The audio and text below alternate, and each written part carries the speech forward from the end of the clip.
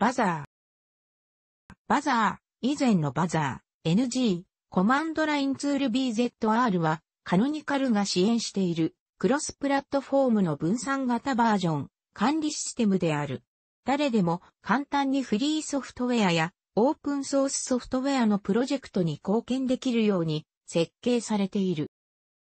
開発者チームは使いやすさ、正確さ及び柔軟性に焦点を当てて開発している。上流のコードをとても簡単にブランチマージできるように設計されており、いくつかのコマンドだけでも生産的に使うことが可能である。バザーはローカルなファイルを複数のブランチで作業する単独開発者でも、またネットワークを超えて共同作業するチームでも使うことができる。2014年にエリック・レーモンドの提案により GNUEMAX がバザーから Git に移行したほか、バグシラ、マスコールなども続々と Git 等への移行が進んでおり、採用例は減少している。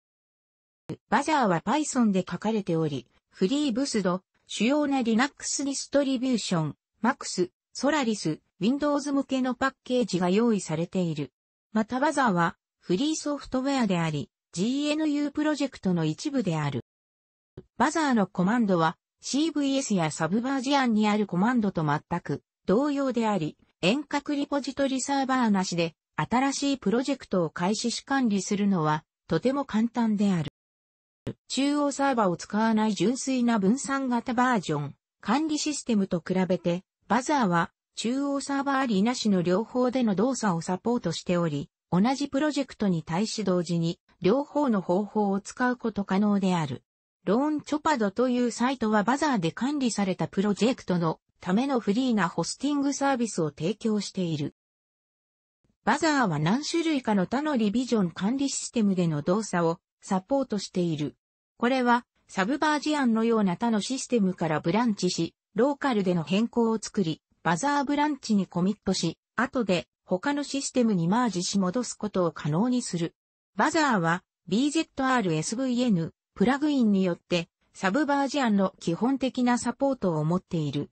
マーク URL や Git のサポートの走りもある。現在の機能は完璧ではないが、グラフィカルなヒストリーを表示できるほどに互換性がある。バザーは完全なユニコード文字セットからなるファイル名をサポートしている。またコミットメッセージやコミッターナなどにもユニコードを使用できる。バージョン 1X のリリースまで Bazaar は Git に比べてかなり遅かったが、以降、いくつかの操作に関しては性能的に追いついている。ネットワークの latency がボトルネックとなっている状況であれば、他のリビジョン管理システムに十分匹敵している。Windows のインストーラには標準で BzrTools、BZRSVN、QBZR、トーティスザーが含まれている。バージョン管理にバザーを使用する有名なプロジェクト、GNU メイルマン、マスコール、GNOME の Java バインディング。バザーという名前はもともと GNU アーチのクライアントであるトラの派生によって使われていた。この派生は現在、現在のバザーと区別をするためにバズと呼ばれている。Baz はコナニコル LTD の従業員、ロバート・コリンズによって2004年10月にアナウンスされ、2005年までメンテナンスされており、その時にバザー NG、現在の Bazaar と呼ばれていたプロジェクトが Baz の後継としてアナウンスされた。 Baz は現在メンテナンスされておらず、 Canonical はそれを非推奨だとみなしている。 Baz の最後のリリースは2005年10月にリリースされたバージョン1.4.3であった。計画されていたバズ1.5のリリースは2006年に放棄された。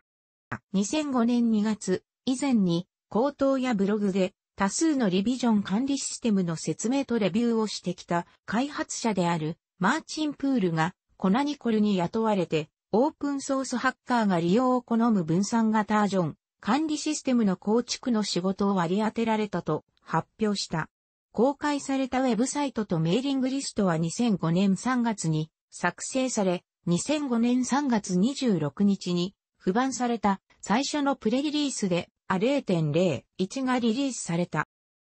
バザーは新しい実装で作られ、完全に異なるコードベースと設計であり、GNU アーチとも、バズとも、多少異なるコマンドセットを持っている。当時開発中、他の種類のオープンソースのリビジョン管理システムの中から、最も良いアイデアの下に分散され構築されるようにデザインされた。バザーはもともと機能のためのテストベッドとして、後でバズに統合するように意図されていたが、2005年中頃には、主要なバズ開発者たちの多くが主として、バザーで直接作業を始めており、バズは捨てられることとなった。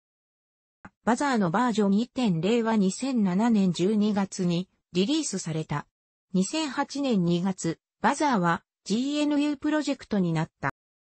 2014年にはバザーを採用していたバグシラが Git に移行するなど停滞傾向にある。バグシラでは移行の理由として Git がデファクトスタンダードになりつつある一方、バジャーは月に2、3のコミットがあるだけでほぼ死んだ状態にあると述べている。